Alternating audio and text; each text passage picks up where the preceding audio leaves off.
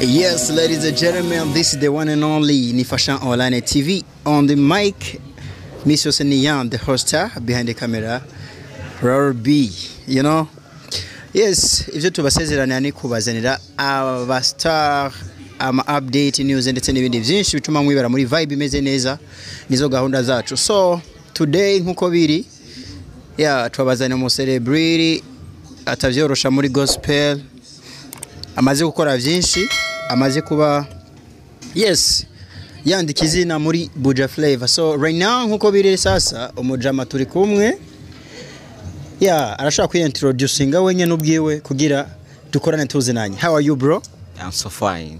nice. Ku kazina? Akazina ni Costa Cox niko kazina k'umuziki kanje. Eh, Izina riso n'abavyeyi ni Habonimana Costa. habonimana cox Co- costa coxa coxi what what's up about iyo iyo nickname yiwa So novuga ko ni izina nakunze cyane. Ah, Yafashe nkiri muto cyane novuga ko ndi mu mwaka w'icenda. Ego. mbega umuririmbyi wa gospel arashobora kugira umuririmbyi wa gospel arashobora eh, kugira nickname like ibi bintu tubimenyeye neza sometimes kubibona mu mantuze ya mu ma yes ku barimba bimwe twita secular music gute kuri gospel ko ushobora kugira nickname. So novuga no- neza yuko birasanzwe cyane kubera ko ni izina kameme ni izina novuga ry'akazi ry'umuziki mu bisanzwe. Numva birasanzwe cyane gose. nice nice nice. Costa coxi ah, iz- izina ry'iwawe numvamo costa. Abantu bazi ki guys ni hatari. Iri zina ni giki espanyol ndibaza? Oya sijiki Espanyol from. Aya, novuga ko ubu uzi meaning yaryo ego ndayizi. okay. Uh, afite cox bisigura ni imbarutso. Sinzi kubona ku rusoro ku nkoho. My godness eh iyo uri kutujana ni he bro? Ku nkoho turafise akantu ga- gatuma umu- umuntu arashe haso ku rusoro. Kandi niko bita mu kirundi imbarutso. Rero sasa cox na yo nico kimwe ni imbarutso afite rero bifise insiguro zitandukanye kubera ko jesi imbarutso urusoro ariko mbarutse ibyiza gusa. Ubarutse byiza gusa. Wow nice nice nice nice. So that rero nkafasha online tv tuba turondera abantu nk'aba. Ayi kugira babarutse ibyiza gusa kugira tugume turi yes tuvibinga tuvibinga tuvibinga tuvibinga so yes icyo nibagiye ni gukora subscribe. Muja no kuri channel no muji mukore subscribe because nubwo ntara tutaravuga ivy'iwe nubwo tutarakwinjira neza na neza muri interview atubwire all about him. Go jya kuri youtube ukore yes wandike costa coxi. Yes coxi wandika c l k s hama uca ushirako official. And then uca ukora subscribe wimanukire nyene wirawira ama content yiwe ndazi ko yes ntuzorambirwa. So costa coxi firstly numva ngo uri umunyamuziki. Eka eka nyene ni ukuri watanguye game gari ubwo ko jenda umunyamuziki koko ntiwihenze natanguye umuziki kera cyane uvuga ko umuziki nawe utanguye nkiri muto uretse ko nakuze muri famiye turirimba ariko kwinjira muri carrière solo yanje. Nayo itanguye inyuma ya 2015 2016 yeah. Reka tuvuge nka ba bandi bavuga ngo ninde yakurespire oh my god ninde yakurespire yangira gutega amazi yes hari umustar aheruka kujya kuri uh, kuri mikro za yes zari za Freemax TV acavuga ngo yani aka kantu kara trendinze cyane. Ninde yako basi ntacyo. Ninde yakwinspira muri since you were, yeah since you were a kid. Uh, navuga yuko je mu bisanzwe na okay nakuze cyane nkunda gukurikirana indirimbo za gospel. Ya naraba cyane indirimbo z'abanyamerika cyangwa abandi bantu batandukanye. Ariko navuga ko hano mu Burundi cyane kuko nkiri muto narumva ikirundi. Ya narakunda abaririmbyi badukuriye cyane muri gospel. Yeah. nakunda kumviriza Apollinaire Habonimana hamwe na Dudu. Apollinaire abona imana na Dudu. So tukikiri ngaho onye hari ikintu umaze ku, ku, kubangira like analysis muri uh, muri gospel. Uh, ndavuga David Fabrice Nzeyimana. Ya nda, ni Heavenly Melodies. Po- Apollinaire ni, Shemeza Music. Abana baba David nkabona baba Dudu. Hari ikintu rero sasa cangira ko ndaho no mashengero. Mbega abaririmbyi b'iki gihe barimba gospel? Ntimugifise creativité so navuga yuko turayifise ahubwo nini cyane. Irahari. Okay agatrape kari aho rero sasa kari ngaho. Jewe all the way nkunze kuba njya mu mashengero atandukanye nsanga misi yose bari mu ma adoration no mu ma praise and worship. Bakunda gukoresha indirimbo zande z'abariya batipe bariya batipe why bariya batipe why uno munsi ata creativity?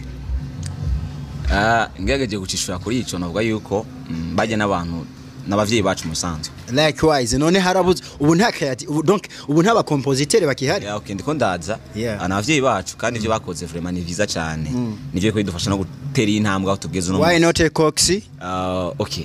Kuri jewe nanje navuga yuko mu mose bari naharereye mu karere kiwe navuga ko kubikora bwa natwe turimo indimbo ziwacu birahari. Uretse ko gusa ah, sinokuvuga ngo ikibazo kiri ngaha. Eh, kubera ko sinama- simaje kuja mu eglise yose ndako abikora ariko my brother so kuri fasha online tv reka ndabivugire kuri kamera za, za fasha online tv ibi bintu ndiko ndavuga ni realite kuko byakorewe ama analyse akomeye cyane abarevye ba gospel uno munsi mushaka mugende mu verifye mu ma present worship nta ndirimbo zabo bwite muri no generation bariko baririmba. Baririmba yesu uri nyishu kandi ndakwizeye ziriya ane mumpinyuje comment hasi. So novuga boss novuga yuko ico kintu sinohara ko zitavurwa cyane ariko iki naco si nakwemereye kesi yo kuvuzwa. Ikiri nakwemereye okay tutaziririmba muri eglise. Exactly. Ariko iki naco why nakwemereye not ntumva indirimbo ya Coxy kandi Coxy akora kandi ari talented. Okay Cox ariko arakora kandi nivyo aracari muto mu muziki. Eh. ariko ndizera neza yuko bivaye na target je mfise kuko simava nishura abandi mbega bose muri gospel umuntu ashobora kuba muto kandi aririmbira imana nini? Oya bivaye na carrière mba gutangura umuziki hari ikintu kwanza kwandika izina murasanzwe ibyo bira bira I know, I know. muri gospel muri sekira byose bira exactly birumvikana. Ariko ikibazo je mfise untahure neza. Huh? creativity ziri hehe.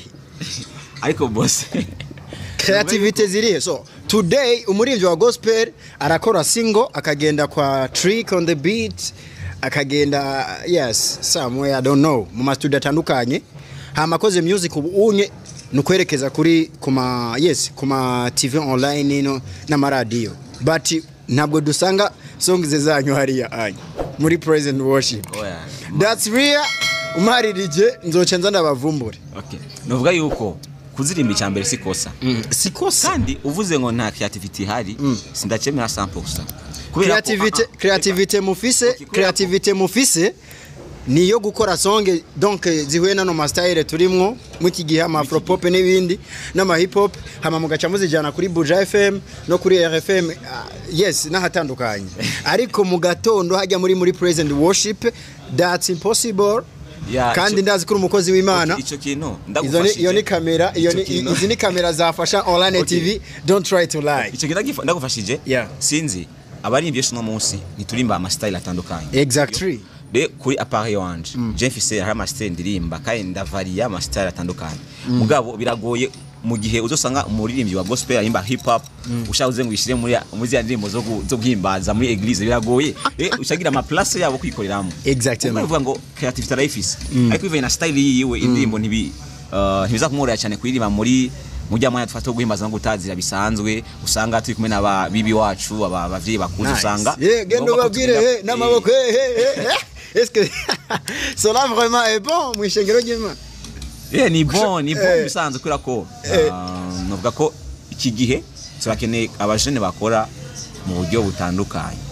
Gikuru gusa nemera batange message imwe message yerekeza ku aho tuko turagenda heza cyane. Nice nice. Yes twarambiye abafana. guys vibe no kugira nte no kuririmba. So ufise songe zitandukanye. Hari chanson yo dutapa uvuga ati I thank Lord for this song.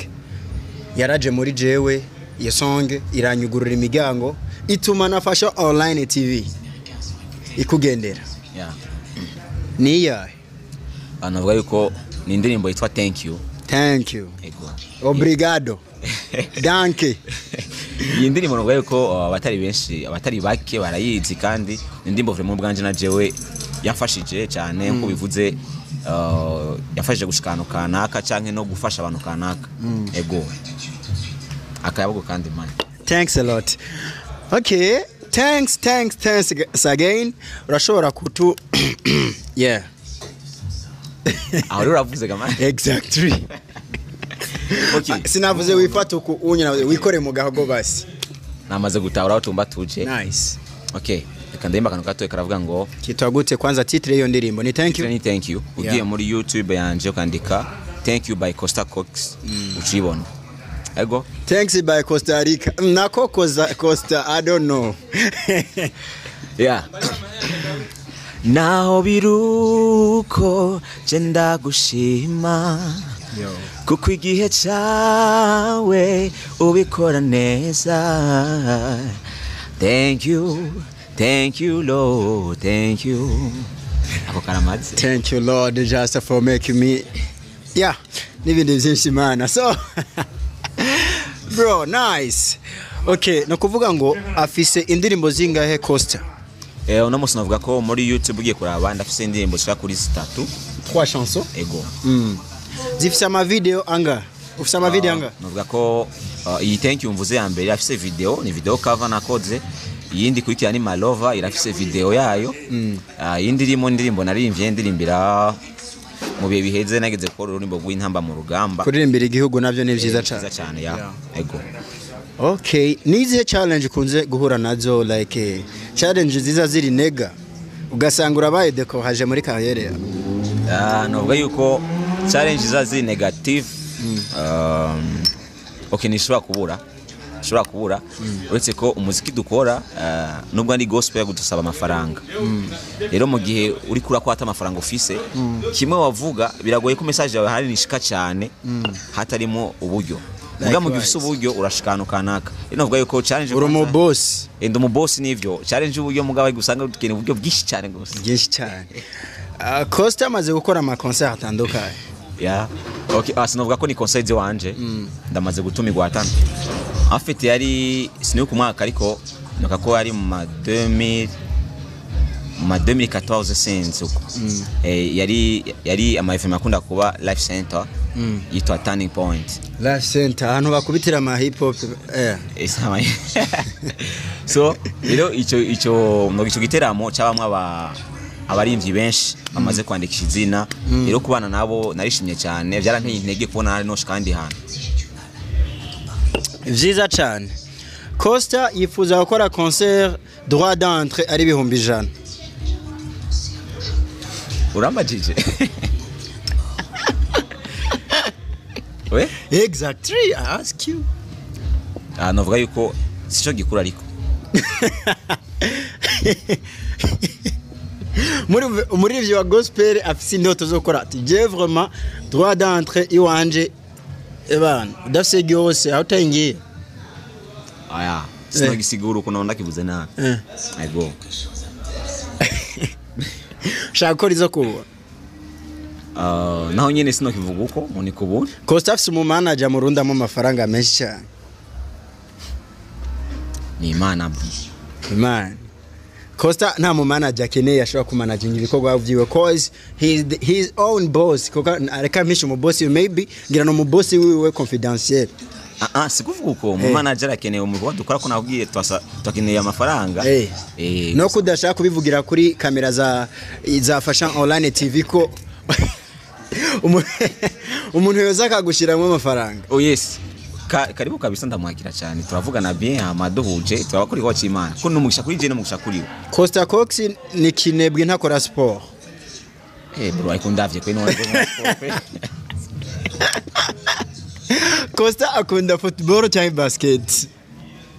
Man wanashima muri muri football nzi Ronaldo na Messi. Uzi football donc ba i mean uh, since kuva ukiri umutoyi ya narakinye football ariko ndayihiba maze kwinjira mu muziki. Ego. warayihebye urahitamo ati jewe dimo ubu nshaka kuba umunyamuziki by'umwuga. Ya cyane gose wow.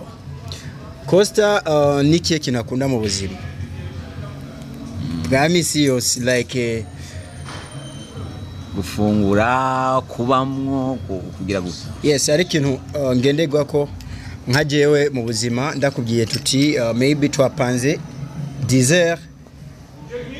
Bakunzi bafasha online tv no mutipe azovuga ivyo- ivyo namukoreye. Kuvuga ngo umwanya n'umwanya.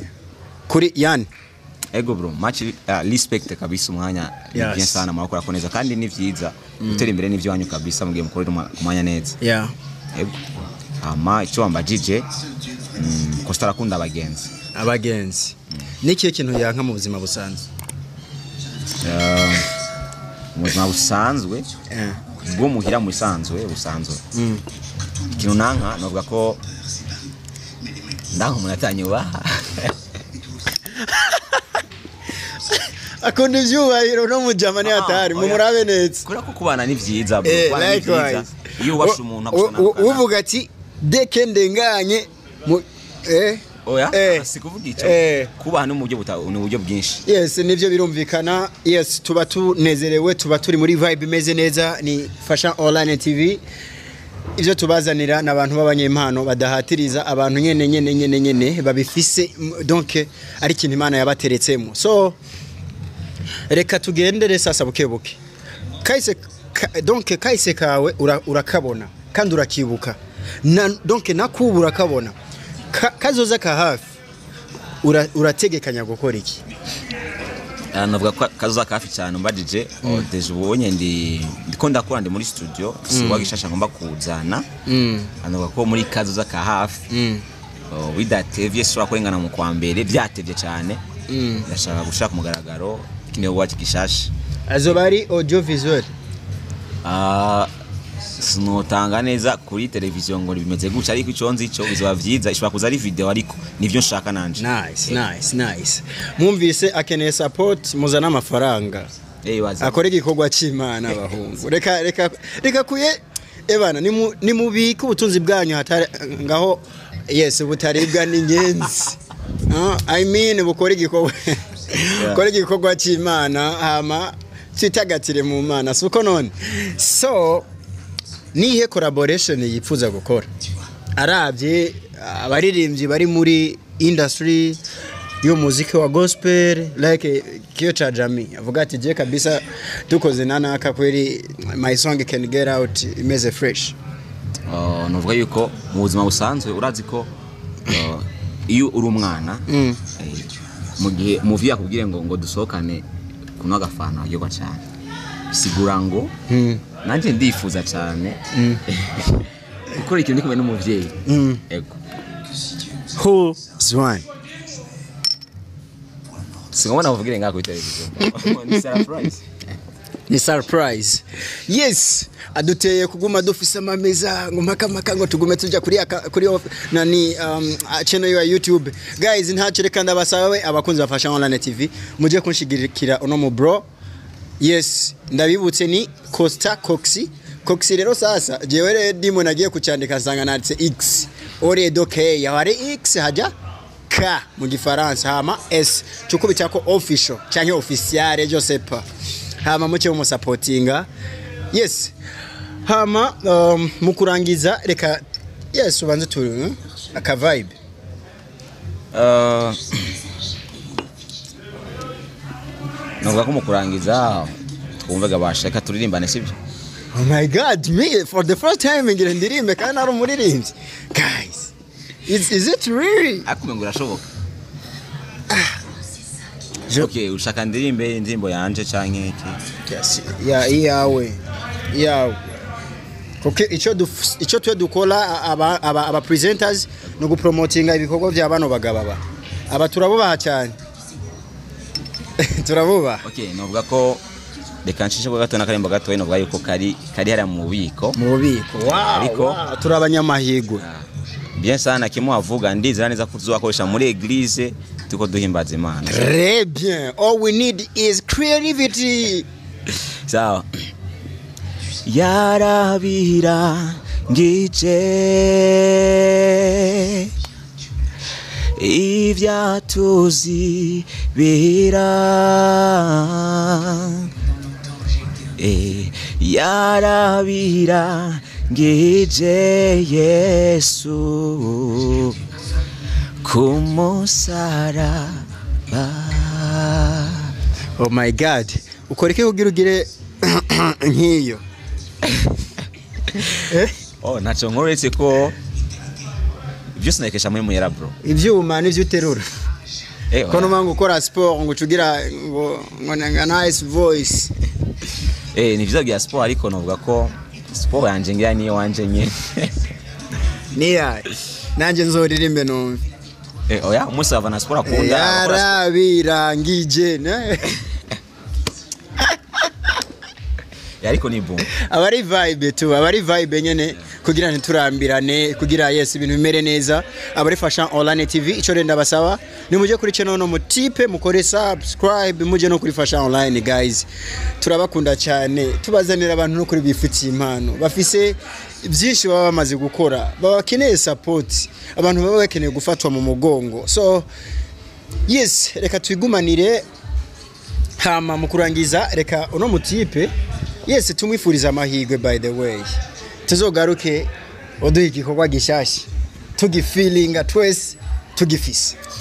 Yes ndabashimiye cyane gose novuga ko kandi ndiko ndakora Ah, ibikorwa navuze yuko birahari. Kandi zira neza yuko ku bakunzi bacu bakunze umuziki wa gospel ni ngombwa muhezagirwe n'abana banyu. Bien ntarangiza urakunda rap? Rap? Yeah. So nda- ndakunda abayiririmba ndakunda kuyumviza ko ntayo nzi nta n'akantu na gato ushobora kuvuga ati jewe rero dimwe hari igihe kuko deja uh, umuntu arakora ikintu yipima like tije kweri none ko bavuze ko uh, mu gutora umupira utera hariya mu kibaskete ari ukugira ari guterera so let me try just. Yeah, so novuga yuko mm, narigeze kuba ndabikora bro. Okay. Rero muri Kenzi ndimo na natoye muri studio imbo ya mbere Ah. ariko kubona band iri aho nibuka ko hariho partenaire ya rap. Ariko Urayibuka se? ntanashyize muri YouTube kubera ko eh wabikoze nabi. Eh? Unabikoze neza ariko ntijya yuko kujya kuri YouTube. Ah. Yego. Mwari ko muririmba secular cyangwa ah gospel. Gospel. Yego. Mu buzima bwawe ntiwigeze uririmba secular uh, oya. Wakuriye mu ishengero. Yego. Nice. Oya ese ushobora kugenda utagize n'akantu gato ka, rap? Nda- cause the way I see you Ah, ndabona ko umenga ubishobora. Jitahidi. Hey. Bro rap kweli? Eh, sasa. Okay. Yeah. kubera ko narandika yo wanje usangiye kurimba y'abandi nta kibazo there is no problem. Yangomba ko ndimba gwanje nka ya nyene yanje. Nice. Erega nyene ni impano umuntu aba afise. Siza bari kararondeza here we go now bro. Asika kato yeah muri we je wenda simba muriwe Yeah. je wenda tamba Yeah. ndasimba ndatamba nda ndatamba go muriwe Yeah. je wenda simba. Ndasimba uh-huh. yeah so thanks everyone. Kuba yes muri kumwe muba muri kumwe natwe. N'urukundo mutwereka.